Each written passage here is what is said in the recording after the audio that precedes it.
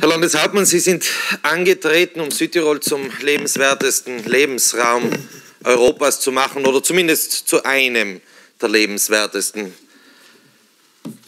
Orte und Lebensräume innerhalb Europas.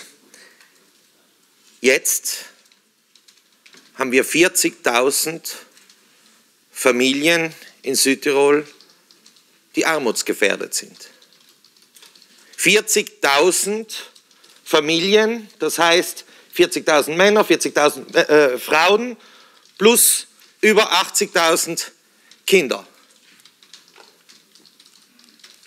Aufgrund der großen Teuerungen, aufgrund des teuren Wohnraums, aufgrund dessen, dass wir die Strompreise, die Energiepreise überbordend haben und nichts dagegen getan haben für die Allgemeinheit.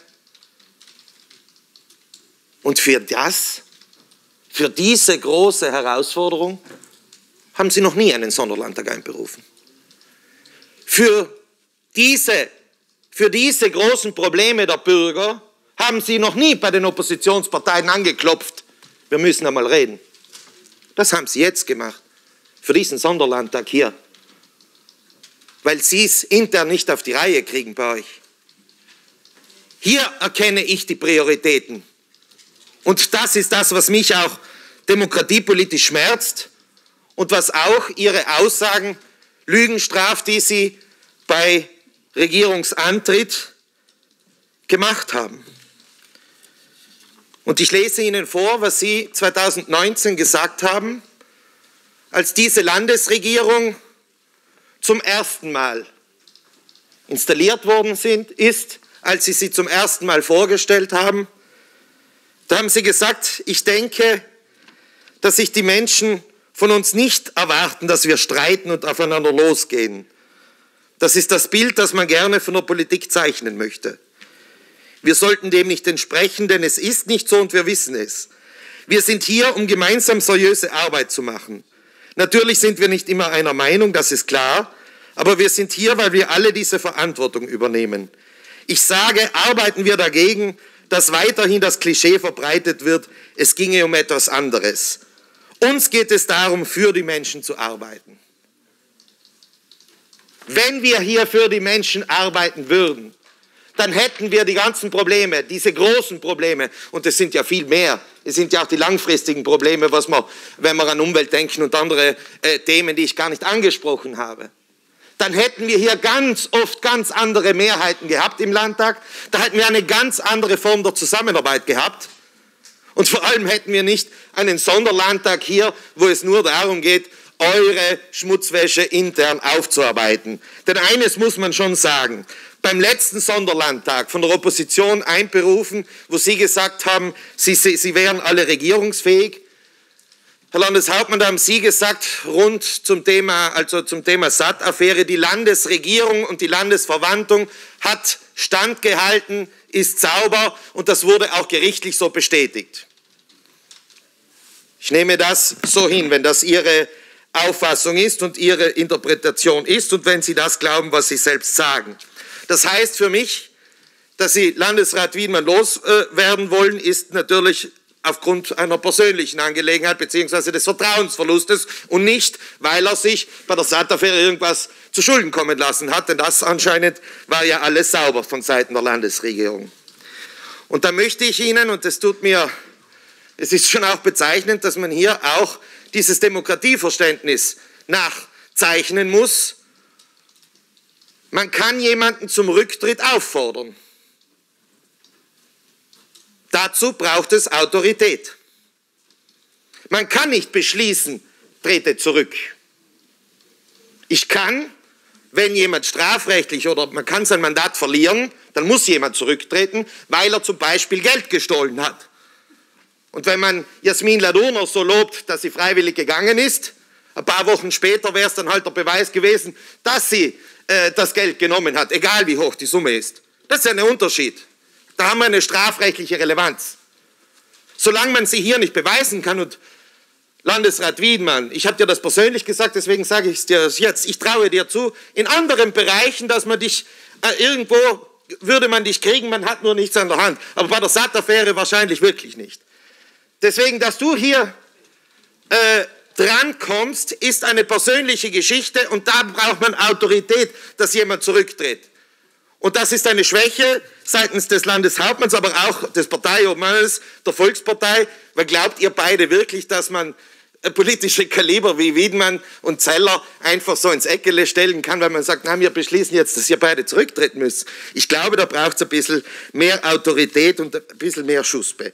Ähm, ein Medium, ein, ein, einer der beiden Journalisten, die äh, das Buch Freunde im Edelweiß geschrieben haben, die haben einen Artikel jetzt verfasst rund um den Sonderland und geschrieben, die Opposition mit einem Bild von uns wäre formal dagegen, gegen diese Landesregierung jetzt. Also dieselbe Landesregierung ohne Wiedmann. Ich muss Ihnen sagen, ich bin nicht formal dagegen. Ich bin inhaltlich dagegen. Und zwar ganz einfach. Herr Landeshauptmann, Sie sind Finanzlandesrat. Sie haben auch die Sorge zu tragen dafür, dass auf den einzelnen Kapiteln, auf den einzelnen Ressorts das hinkommt, was nötig ist. Und ich kann einfach nicht verstehen, warum das Ressort Mobilität 540 Millionen plus drinnen hat und beim Sozialen 8 Millionen für die Anpassung der Wohnbaupunkte nicht drinnen sind. Das liegt nicht nur an den einzelnen Landesräten.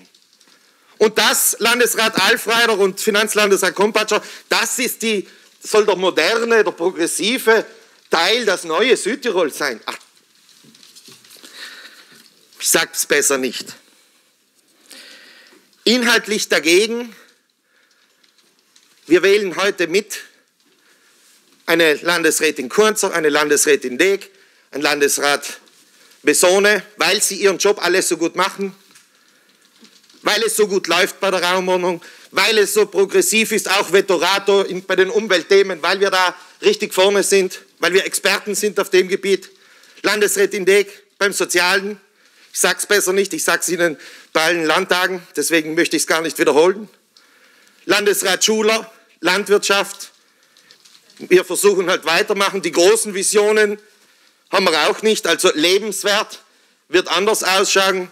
Achammer, Personalnot in den Schulen, vor allem in den städtischen Zentren, die dringend Leute bräuchten. Dort werden genau die Probleme äh, produziert, die wir dann haben in der Jugendszene und in den Familien. Deswegen hier brauchen wir unbedingt Leute. Wir wählen heute diese Landesregierung mit und deshalb können wir als Freiheitliche inhaltlich schon gar nicht mitmachen und nicht allein formal. Diese Landesregierung hat politisch in dieser Form ausgedient. Ihr werdet aber bis zu den nächsten Landtagswahlen regieren, egal ob die regulär nächstes Jahr stattfinden oder früher. Das entbindet weder euch, geschweige denn uns, die uns diesbezüglich nicht zu Schulden kommen haben lassen, dass wir gut arbeiten. Das heißt für euch, diese Zeit, die euch bleibt, runter vom Ross, sich um die, um die wahren Probleme kümmern, sich die Mehrheiten in dieser Aula in diesem Wettbewerb der Lösungen und nicht nur der Ideen der Lösungen wirklich für die Bürger zu arbeiten. Das ist euer Auftrag und so, viel, so professionell müsst ihr sein. Und so viel Professionalität, Landeshauptmann, hätte ich auch dir zugetraut, vor allem wenn du die ganze Geschichte von, äh, von den Telefonaten von Wiedmann schon über ein Jahr gewusst hast. Warum geht es dann nicht noch ein Jahr? Ihr werdet gut bezahlt dafür, professionell zu arbeiten. Dass man nicht immer mit jedem kann, ist klar. Aber messt euch an der Arbeit, messt euch an der Leistung, die ihr für die Bürger bringt.